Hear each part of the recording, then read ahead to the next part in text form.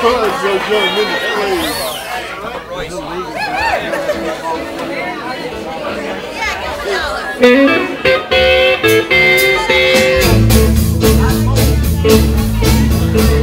They believe what preaching ain't true.